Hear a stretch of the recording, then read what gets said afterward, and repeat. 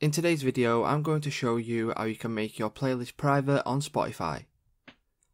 So to make your playlist private on Spotify, this is a simple thing to do. So the first thing you will need to do is head over to your Spotify app.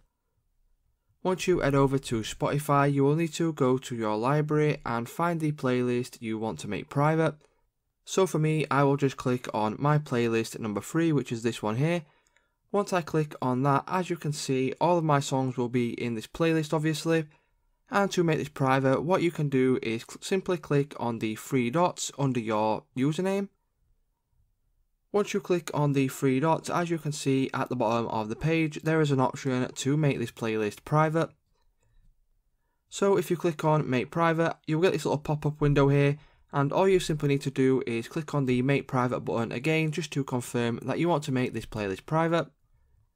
Once you click on that, as you can see at the bottom, this playlist is now private, so it's just simple to do guys. If this video did help you out, please let me know in the comments down below, drop a like on today's video, and I will see you in the next one.